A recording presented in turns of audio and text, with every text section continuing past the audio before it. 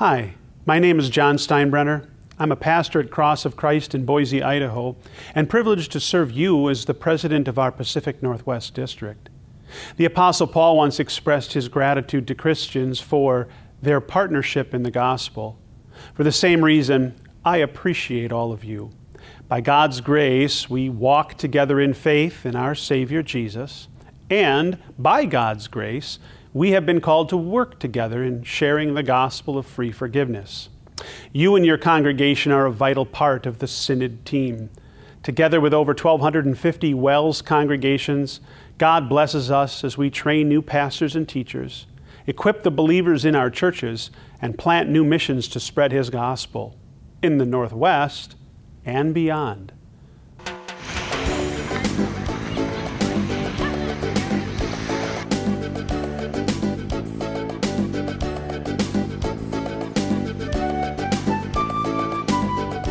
The WELS missionaries came when I was in grade school. They rented a building right in front of my dad's business. And then we saw that they had signs that were um, that they were offering English classes. So my family and I started coming to the English classes. Then right after the classes, they used to have a Bible study. Eventually it's like, oh, there's a church service on Sunday. And so began Idili Pichardo's journey in the WELS. Within a few years, she was attending Luther Preparatory School and then Martin Luther College before graduating and receiving her first call as a teacher in a WELS high school. Su familia era rica. ¿Sí? Recuerden que Trujillo era una, un militar. You know, okay? I don't think that many people have the privilege of waking up and doing something that they absolutely love, and it doesn't seem like a burden, you know, and just seeing the results of the students is just wonderful. God's Word did the work, but all of us shared in the effort that brought Idili to her calling in this classroom. Señorita Pichardo nació en Santiago, okay?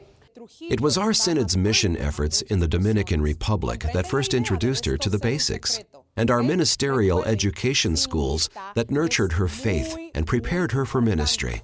And now the cycle repeats as she brings God's Word to a new generation. Obviously, her strong faith in her Savior and the training she's had has put her in a very good position to be the, the gospel sharer with you know, this variety of uh, students that God sends our way. Idili is the reason WELS churches make congregational mission offerings. She and thousands like her have come to know Jesus through our missions and have been educated in our ministerial education schools. CMO provide the infrastructure that enables ministry and equips the next generation of WELS Christians. All the experiences that I've lived have only made me a better person and a better Christian, and I can share my story with others, you know, and just talk about that and all the joy that I have being here. Through our synod and our districts, we have the privilege to serve people like Idili, empowering them to serve the kingdom. Here in the wonderful Pacific Northwest, missionaries started sharing God's Word many decades ago. From then until now, God has grown churches in Idaho and Oregon, Washington, and into British Columbia, and up into the great state of Alaska.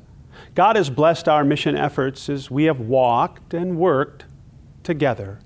And as we continue to trust His promises and preach and teach His word and walk and work together by faith in Jesus, God will bless us. Soon, everyone on our team of over 1,250 Synod congregations will be making their mission offering commitments for 2016. As we thankfully plan, always remember our mission offerings are not just about budget numbers, they are a thankful response to God's love. And they are about souls, souls who need to hear the saving gospel of Jesus. Here are some examples of what God is doing through our mission offerings. Our synod exists to do the work that's beyond the scope of individual congregations. Perhaps the most visible example is our ministerial education system, preparing the next generation of pastor, teachers, missionaries, and staff ministers. The WELS as a whole and the offerings that they've given and the prayers that they've prayed and the, the food that they've donated to the pantry they've helped me in my studies and they've helped my classmates and they continue to help classmates and, and students training for the ministry. Um, for years and years and years, we've been blessed with those offerings.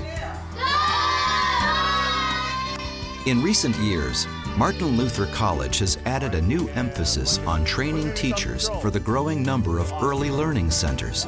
And we've created programs to better prepare our students for urban and cross-cultural ministry. Anything that steps us outside of our comfort zone is frightening and it's scary, um, but it's the only way to reach the people that need to be reached.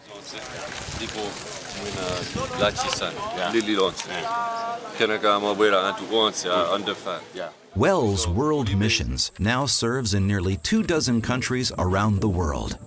In Africa, for example, we bring clean water, medical care, and, most importantly, the gospel message to more than 50,000 souls.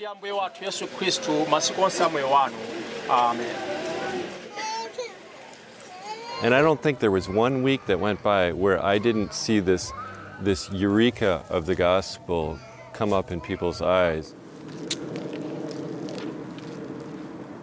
WELS Home Missions continues its long term plan to facilitate the planting of 10 new congregations a year in locations all across the country. Dealing with all these temptations and dealing with all these problems. But we just know that God will give us the direction we need. Uh, he'll, it, it's a matter of putting people in contact with the Word.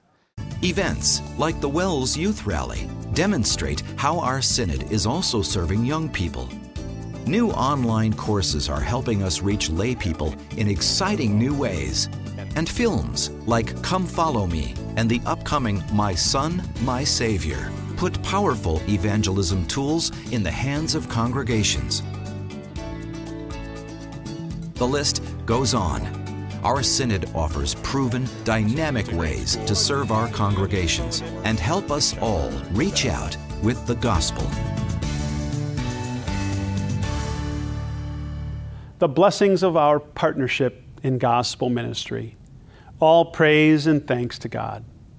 We all benefit as we ponder the grace of God in Christ, as we walk and work together, welcoming new people into our congregations, building each other up with God's promises, sharing God's message of forgiveness with others. As your church family and leaders consider your upcoming congregational mission offering for WELS, missions, and ministry, remember how God's undeserved love has made you a part of His safe family, His team. And that moves us to share His love with other people, people whom Jesus loved and people for whom Jesus died. You, me, us, partners in the gospel. May God bless us as we walk and work together in the great Northwest and with our brothers and sisters throughout our synod.